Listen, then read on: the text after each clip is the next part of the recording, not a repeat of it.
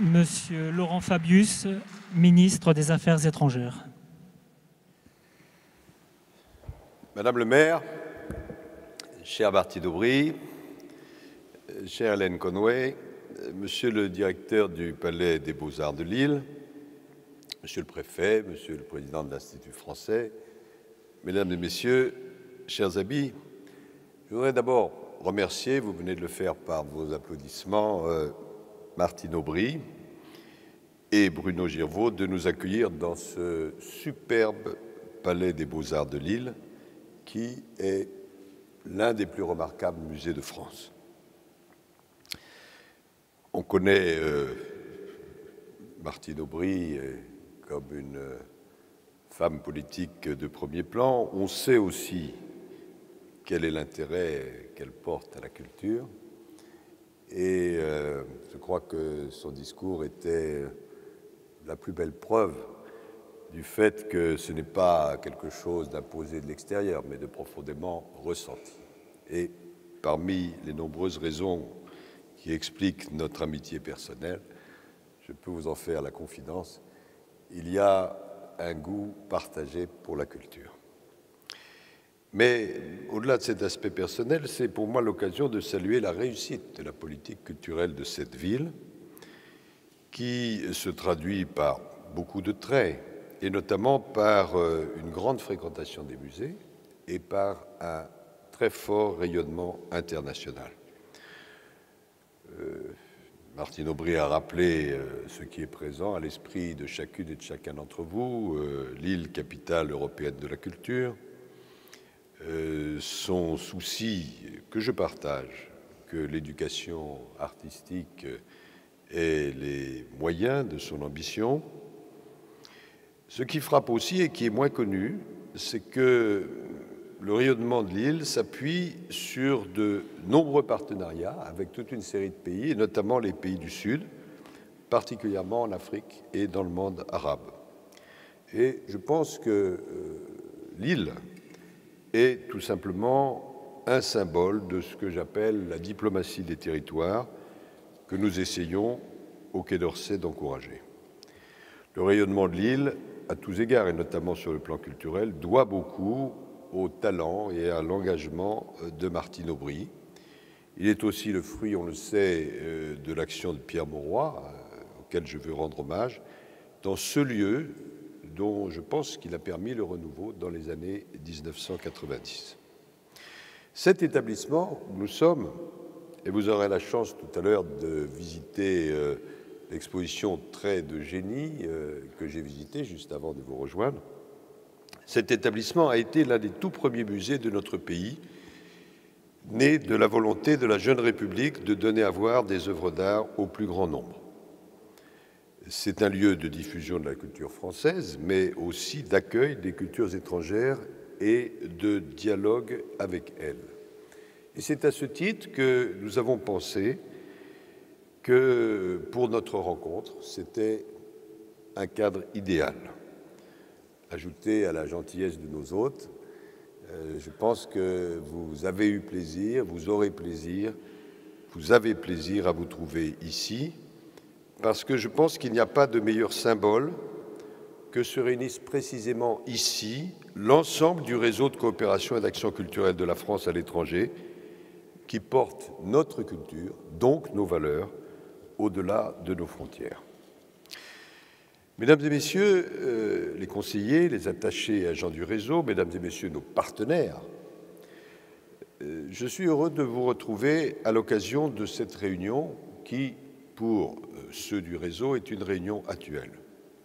J'ai l'occasion, dans mes visites, je suis, depuis ma rentrée du Mexique hier, à mon 56e pays visité depuis un an, j'ai l'occasion de rencontrer beaucoup d'entre vous au cours de mes déplacements à l'étranger.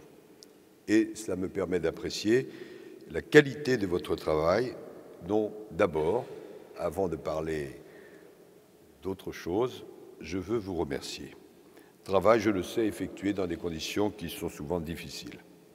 J'ai l'occasion aussi, en me déplaçant à l'étranger, de mesurer combien le rôle de notre réseau de coopération et d'action culturelle est primordial ce qui justifie votre nombre, parfois euh, contesté, mais que je crois tout à fait fondé, 6 000 sur les à peu près 15 000 du ministère des Affaires étrangères. L'an dernier, j'avais développé devant vous euh, le thème, à vrai dire, pas terriblement révolutionnaire, que la France était ce que j'appelle une puissance d'influence. Le rayonnement de notre pays ne résulte pas seulement de son poids politique, de son poids militaire, de son poids diplomatique, de son poids économique, il est évidemment aussi le fruit de la diffusion de sa culture, de sa langue, de ses valeurs, de tous les attributs qu'on appelle, je ne sais pas pourquoi, informels de la puissance. Notre réseau de coopération et d'action culturelle constitue le point d'appui de cette influence. Il en est, vous en êtes, les principaux acteurs à travers le monde. Et vous agissez en conséquence. Et pour agir, il faut des orientations qui soient suffisamment claires. Et j'ai donc choisi, aujourd'hui, ici à Lille, de consacrer l'essentiel de mon propos à vous présenter aussi clairement que possible les orientations que je vous fixe.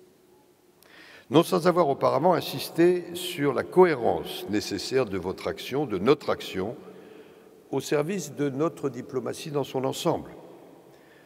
Car la politique d'influence est un tout, et chacune et chacun de vous, dans son rôle, est porteur de la totalité cette action prend des formes diverses pour soutenir et développer notre influence.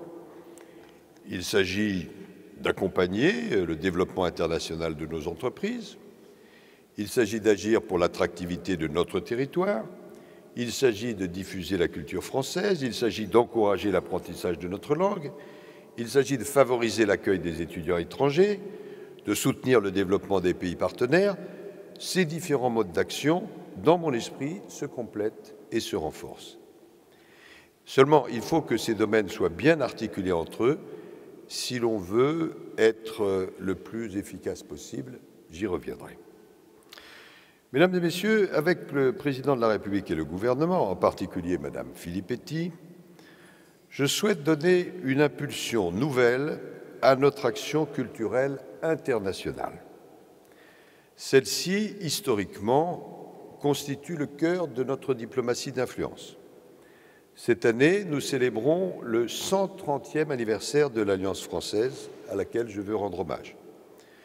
Le service qu'on appelait des œuvres françaises à l'étranger, qui est euh, l'ancêtre assez lointain de la Direction générale de la mondialisation, a été créé, lui, en 1920, afin de développer les échanges culturels et scientifiques. Nous sommes donc, mesdames et messieurs, dans le temps long, et nullement dans le caprice ou le gadget d'un jour. En France, et Martine Aubry l'a rappelé, on sait que rien de grand ne se fait sans culture. Et cela vaut aussi concernant notre diplomatie. Pour la France et pour notre action extérieure, la culture constitue un atout immense que nous devons valoriser et, je dirais, si ce mot n'était pas assez laid, utiliser au maximum tout en faisant valoir dans ce domaine notre singularité qui nous éloigne de toute posture égoïste ou égotiste. En effet, nous ne séparons jamais le rayonnement de la culture française et l'hospitalité à l'égard des cultures étrangères. Pour nous, faire rayonner une culture, c'est d'abord la faire résonner avec d'autres. Cette ouverture et cette attention à l'échange font, selon moi, la force de notre action culturelle et elle lui donne son sens. C'est pourquoi nous sommes si profondément attachés à la diversité culturelle, non pas par narcissisme français ou par repli sur soi. Nous avons défendu récemment la diversité culturelle et la spécificité des services audiovisuels, comme nous l'avons toujours fait dans les négociations internationales, bilatérales et multilatérales. Nous l'avons fait avec succès, mais ai-je besoin de vous prévenir? Nous devrons rester extrêmement vigilants concernant en particulier l'exclusion des services audiovisuels du champ de la négociation du futur accord de libre-échange avec les États-Unis. Nous souhaitons la mise en œuvre pleine et entière de la Convention sur la diversité des expressions culturelles conclue dans le cadre de l'UNESCO et de ses conséquences dans le nouveau paysage numérique. Si nous voulons faire rayonner et raisonner notre culture, nous devons d'abord mettre pleinement en valeur nos atouts. Et plusieurs thèmes, plusieurs domaines d'action doivent recueillir, si vous le voulez bien, une attention particulière de votre part. Et je vais les citer. D'abord, la diffusion du français. C'est une de nos grandes priorités. Notre langue est aujourd'hui parlée, dit-on, par 220 millions de personnes. Elle pourrait l'être bientôt par plus de 700 millions de personnes avec le développement de l'Afrique.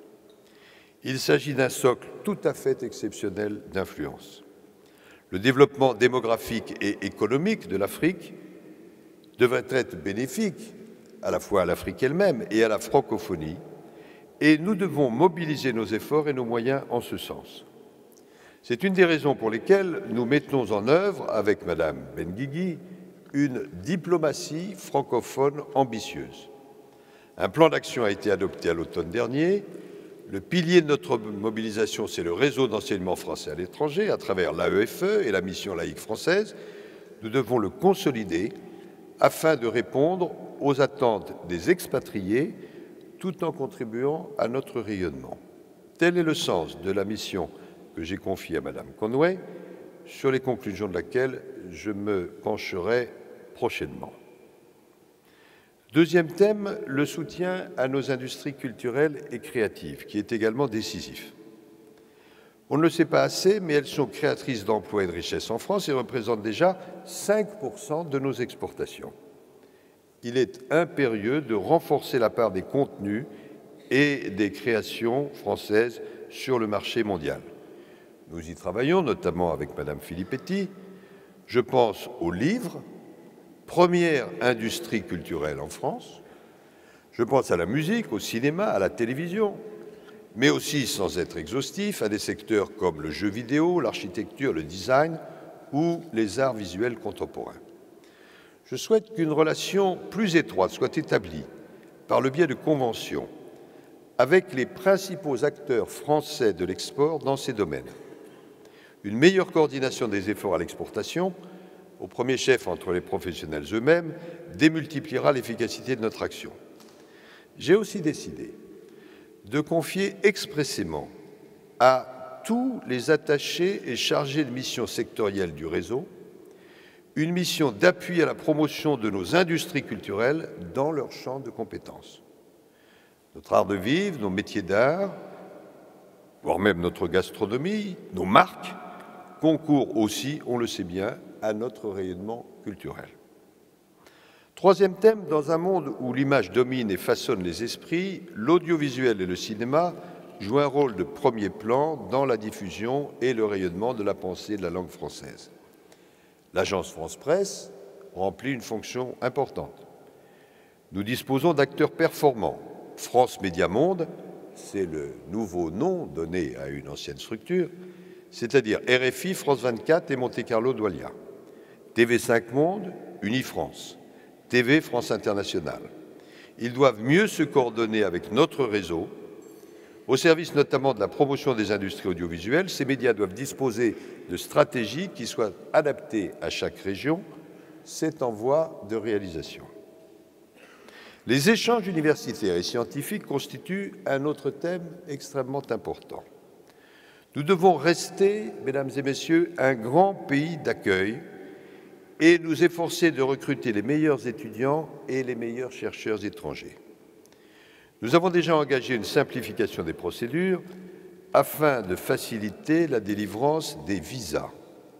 Cette politique, qui demande à être plus efficace, doit prendre en compte l'exigence d'attractivité de notre territoire, comme c'est le cas dans d'autres domaines, avec par exemple la facilitation récente des conditions d'obtention des visas pour favoriser les tournages de films aux retombées économiques et touristiques positives pour notre pays. Il nous faut aussi encourager les partenariats permettant le développement international de nos établissements d'enseignement supérieur et de recherche et de nos entreprises. Dans cette perspective, j'ai demandé à Campus France d'élaborer un outil permettant le suivi et l'animation du réseau des anciens étudiants, on dirait en latin alumni, en anglais alumni, car les étudiants étrangers accueillis en France peuvent et doivent constituer autant de relais de notre influence si nous savons cultiver durablement le lien entre eux et notre pays.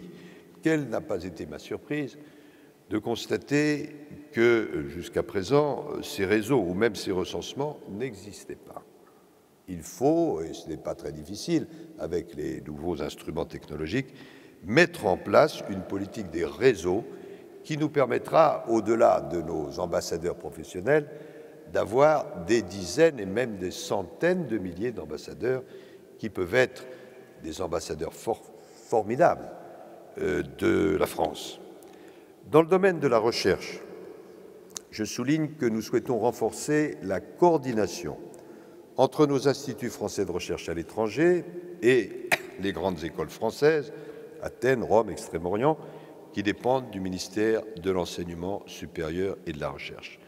Enfin, sur euh, euh, ce recensement des thèmes, je souhaite que, sans esprit de propagande, notre réseau, et c'est une évidence, porte les valeurs de la France. Cette promotion de nos valeurs figure dans le mandat des différents acteurs de l'action culturelle extérieure.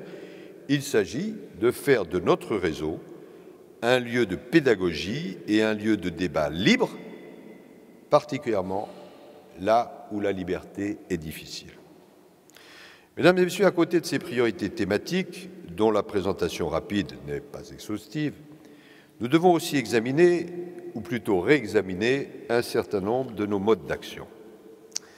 Il nous faut d'abord revisiter la géographie de notre présence et adapter nos moyens selon les pays.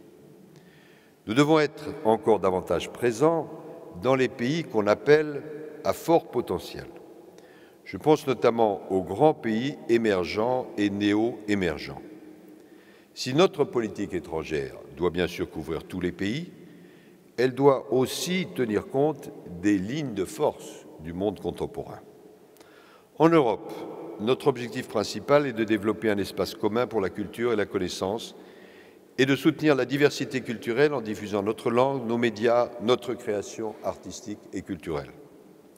Sur les rives sud et est de la Méditerranée, nous devons accompagner les aspirations démocratiques en soutenant le développement des libertés dans les sphères de la culture et de l'éducation, des médias et d'Internet. Nous devons consolider le rôle régional de la France par la diffusion de nos contenus et de notre langue. En Afrique et dans la francophonie du Sud, nous voulons apporter une aide au développement culturel, économique et social en soutenant la création, la lutte contre la fracture numérique, l'accès à l'éducation et à la formation, tout en consolidant le rayonnement de la langue française et l'unité de la famille francophone. Dans les pays prescripteurs, qu'ils soient anciens comme les grands pays occidentaux ou nouveaux comme les pays émergents et néo-émergents, nous devons renforcer l'influence de la France. Nos efforts doivent porter sur l'intermédiation, la constitution de relais et de partenariats, plus que sur seulement la programmation culturelle. La cartographie de notre réseau devra donc continuer à s'adapter pour forger une sorte de diplomatie de demain. Notre réseau scientifique et universitaire devra tenir compte des priorités de notre politique d'attractivité, du potentiel de développement de notre coopération avec les pays émergents et des possibilités de mutualisation avec les bureaux de représentation des établissements universitaires et des organismes de recherche français présents à l'étranger.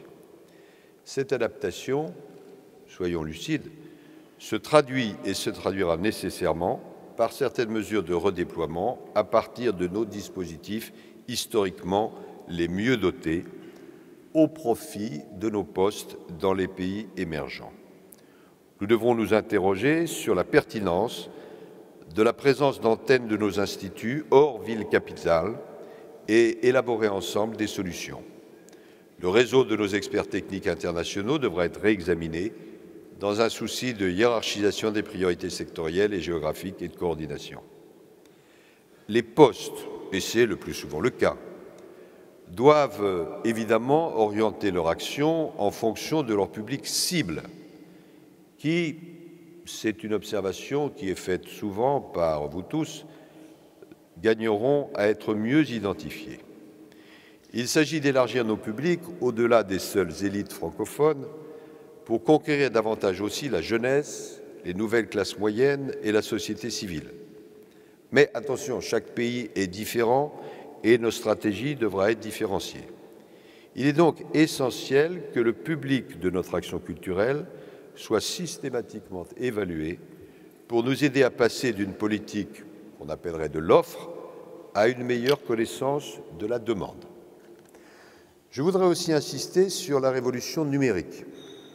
Il me paraît indispensable que les acteurs de la diplomatie culturelle que vous êtes continuent d'investir ces nouveaux espaces et renforcent leur utilisation des outils numériques qui bouleversent évidemment les pratiques culturelles. Le soutien de l'Institut français au projet Afripédia de développement des contenus africains francophones sur Wikipédia est un bon exemple. Il faut encore développer. J'ai également décidé de soutenir la conversion des salles du réseau à la projection numérique afin que la diffusion de notre cinéma bénéficie des technologies les plus avancées. La France prendra au plan général des initiatives pour que les questions culturelles soient pleinement prises en compte dans les travaux européens sur l'économie numérique, en particulier, même si c'est un sujet très délicat, en matière de fiscalité. Ce sera l'un des enjeux d'une réunion du Conseil européen qui doit se tenir en octobre prochain. Tout cela ne vaut évidemment que si nous savons être très attentifs à ce qui fait la vraie richesse de notre réseau, c'est-à-dire, mesdames et messieurs, vous-mêmes, dans la diversité de vos compétences et de vos expériences. Cette richesse peut être encore mieux valorisée. Et j'ai demandé à la direction des ressources humaines du Quai d'Orsay de porter une attention augmentée au suivi de vos parcours professionnels. Il s'agit en particulier de faciliter les allers en retour entre le réseau et la France, de valoriser les expériences de chacun et de permettre aux agents, notamment par la formation, d'être totalement en phase avec les nouvelles réalités culturelles et de développement. Nous savons que nos moyens sont et seront limités. Nous devons donc optimiser nos moyens humains et budgétaires.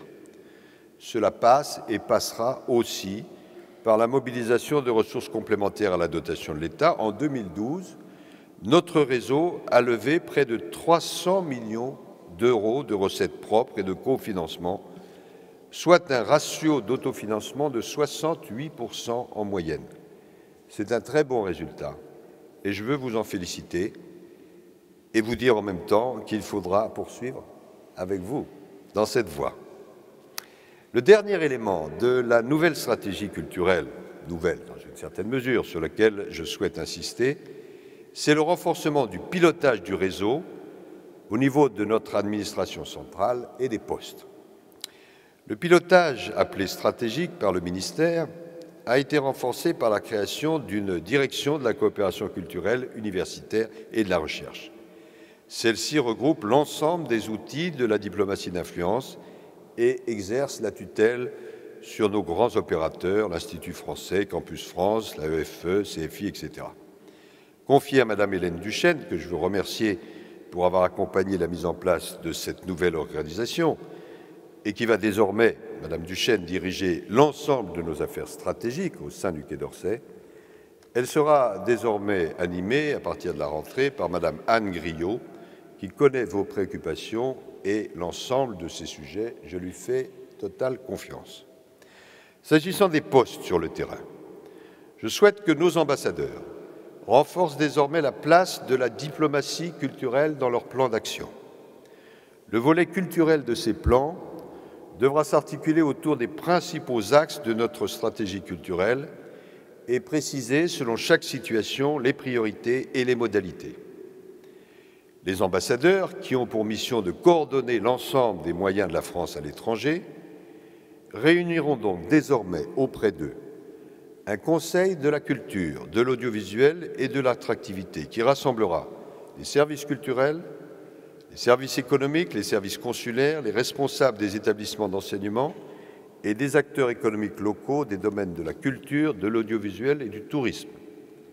Ce Conseil élargira le rôle du précédent Conseil d'orientation stratégique de l'Institut français afin d'élargir les thématiques et de mettre l'accent sur l'attractivité de la France en étant notamment très attentif, car tout est lié, à la délivrance efficace et rapide des visas pour les talents que la France souhaite s'attacher. La mise en œuvre de cette stratégie exige bien sûr une bonne articulation avec l'ensemble des opérateurs du rayonnement culturel. Je pense à l'AEFE, à Campus France, à France Expertise Internationale, aux opérateurs de l'audiovisuel extérieur et aux deux grands acteurs complémentaires de la coopération et de la diffusion culturelle que sont l'Alliance française et l'Institut français. La Fondation Alliance française, qui coordonne le réseau de nos alliances, travaille en relation étroite avec le ministère dans l'exercice de ses missions d'enseignement du français et d'échange culturel. Le statut d'association de droit local permet à nos alliances françaises d'inscrire leur action tout à fait remarquable au cœur de la société civile locale dans un maillage territorial qui est sans égal. L'implantation des alliances est en général complémentaire de celle des instituts. Une nouvelle convention triennale sera signée à l'automne prochain pour la période 2014-2016 afin de renouveler ce partenariat en veillant à assurer la mutualisation des moyens et la bonne coordination des actions entre les alliances françaises et le réseau culturel. L'opérateur culturel du ministère des Affaires étrangères, l'Institut français, a été créé beaucoup plus récemment, en 2010. La loi a prévu une expérimentation de trois ans pour apprécier l'opportunité ou non de lui rattacher l'ensemble de notre réseau culturel public. Cette expérimentation est en cours dans 12 pays représentatifs de la diversité de notre présence culturelle. Les enseignements complets ne pourront être tirés qu'au terme du processus, au vu du rapport qui sera transmis au Parlement avant le 31 octobre 2013, comme le prévoit la loi. À ce stade, l'expérimentation n'a pas montré d'avantage décisif en faveur d'un rattachement général.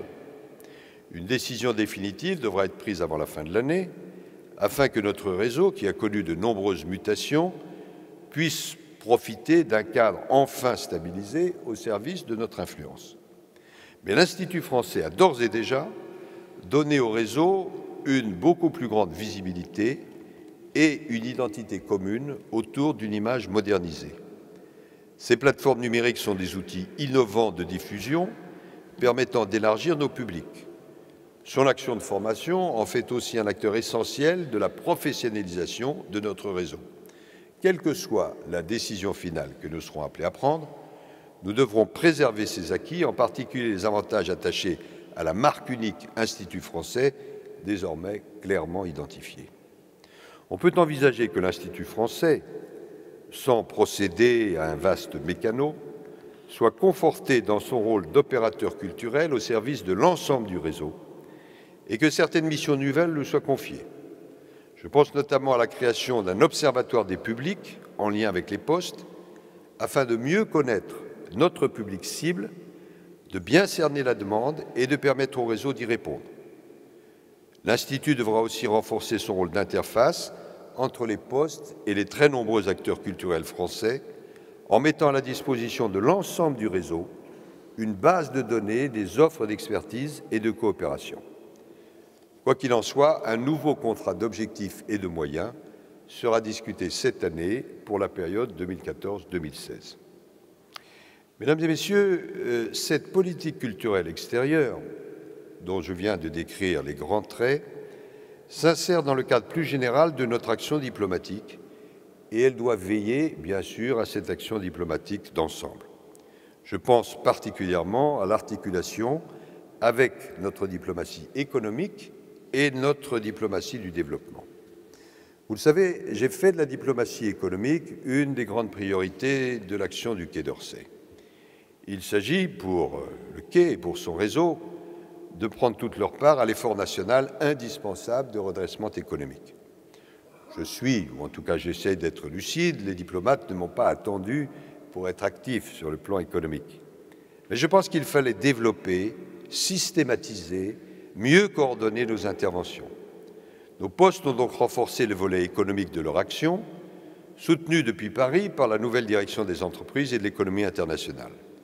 Dans le même esprit, j'ai nommé des représentants spéciaux dans un tout petit nombre de pays clés, dont Mme Martine Aubry, que je remercie d'avoir accepté de remplir ce rôle majeur pour la Chine.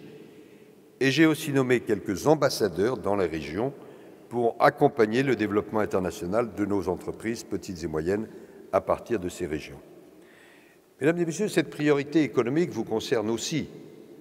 Il revient à l'ensemble des agents du ministère de mettre en œuvre une sorte de réflexe économique qui n'est en rien une subordination du culturel à l'économique, mais tout simplement la recherche d'une efficacité transversale de notre action.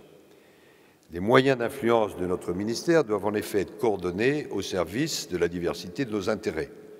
Par exemple, le réseau soutient depuis longtemps l'exportation de nos produits culturels, ce qui contribue à valoriser l'ensemble de ce qu'on appelle maintenant la marque France par la promotion de la culture et de l'image de notre pays. Le réseau scolaire français à l'étranger accompagne l'expansion internationale de nos entreprises et facilite l'expatriation de nos compatriotes.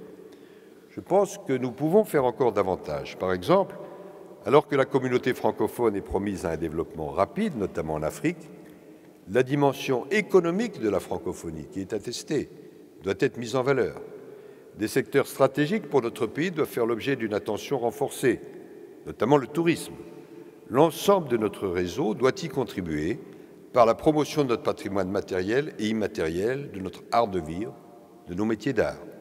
Quant au réseau scientifique, il doit renforcer la dimension recherche et développement de son action, se positionner au plus près des grands centres mondiaux d'innovation qui intéressent nos pôles de compétitivité. Dans cet esprit, l'attribution des bourses pour la formation en France des étudiants étrangers sera davantage ciblée sur les pays, je les ai appelés à fort potentiel, et sur les disciplines correspondant aux intérêts économiques, scientifiques français. Le développement au-delà de l'économie, constitue un autre enjeu majeur qui vous concerne tous directement. Malgré un contexte budgétaire difficile, la France a fait le choix de maintenir son effort de solidarité et nous sommes, cela est trop peu connu euh, à l'extérieur, un acteur tout à fait majeur puisque nous représentons 10% de l'aide mondiale, ce qui fait de notre pays le quatrième bailleur mondial. D'un point de vue qualitatif, nous avons travaillé avec ministre délégué Pascal Canfin, à une refondation de la politique de développement dont la mise en œuvre repose aussi largement sur vous, avec euh, le concours bien sûr de l'Agence française de développement dont je salue la nouvelle directrice générale, Madame Anne Pogam. Trois objectifs ont été assignés par le président de la République et le gouvernement à la politique de développement. L'économie, la préservation de la planète et la stabilité démocratique l'économie, car notre action pour le développement doit veiller, entre autres, à promouvoir l'offre française et les entreprises françaises, nos partenaires le font, et il serait étrange euh, que nous ne le fassions point. La préservation de la planète, car une politique de développement cohérente est aussi une politique écologique. Deux échéances importantes vont avoir lieu en 2015, la négociation aux Nations Unies d'un nouveau cadre mondial de l'action pour le développement durable, afin de prendre les suites des objectifs du millénaire.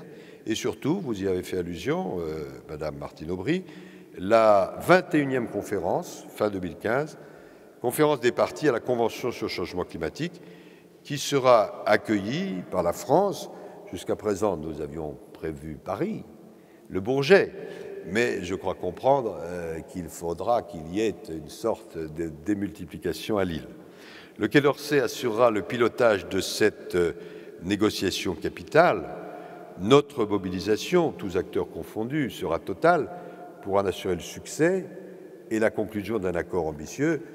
Je précise, pour euh, situer les ordres de grandeur, qu'à cette occasion, nous accueillerons 25 000 personnes que les précédentes rencontres n'ont pas été des succès absolument marquants, ce qui explique peut-être que la France euh, soit le seul candidat à accueillir cette grande conférence, ce qui lui donne des chances, j'emploierai ce mot, euh, d'être retenu.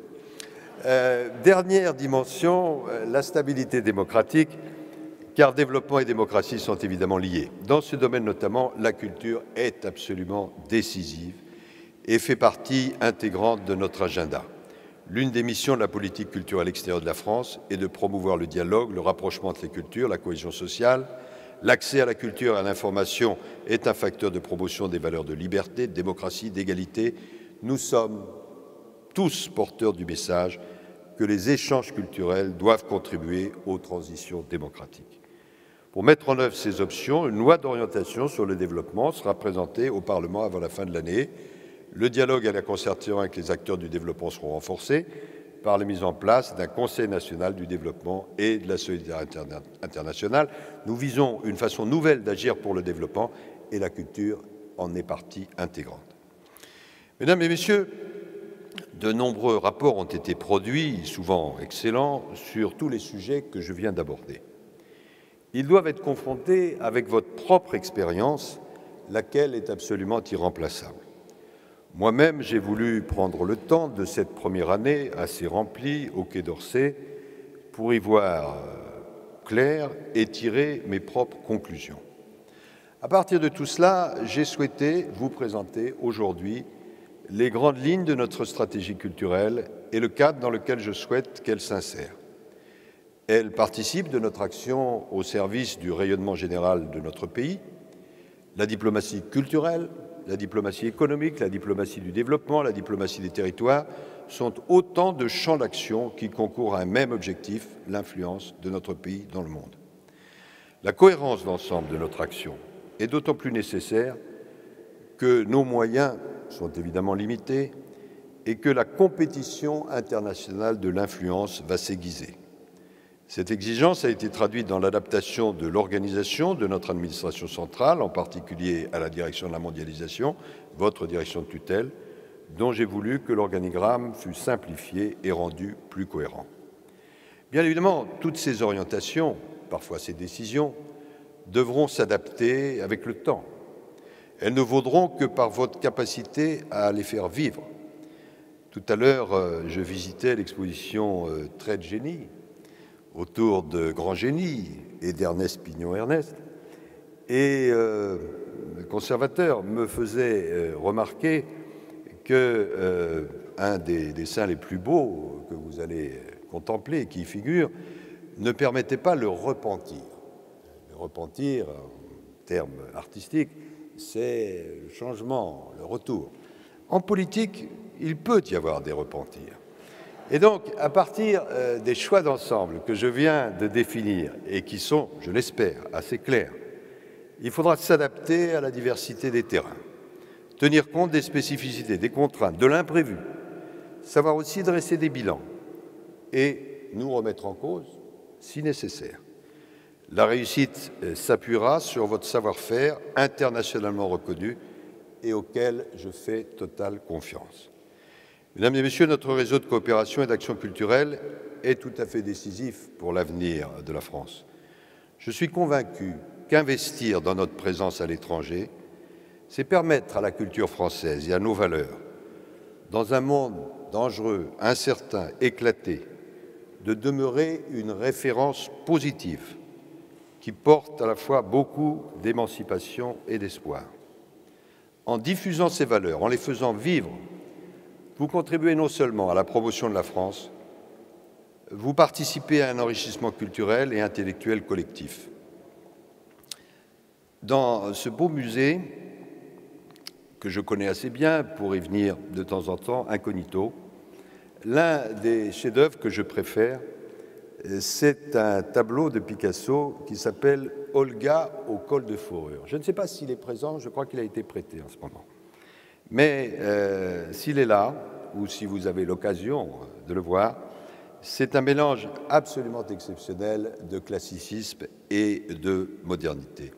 Eh bien, ce tableau illustre, me semble-t-il, assez bien votre rôle transversal et fondamental de passeur de notre culture dans l'espace et dans le temps. Il dit avec force la palette large qui est la vôtre et l'importance de votre mission quotidienne que j'ai voulu rappeler et, dans une certaine mesure, orienter. Mesdames et Messieurs, j'ai totale confiance en vous. Merci.